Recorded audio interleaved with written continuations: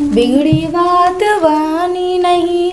लाख करे कि न कोय बिगड़े रहे मन दूध के। पटाना पोटी हो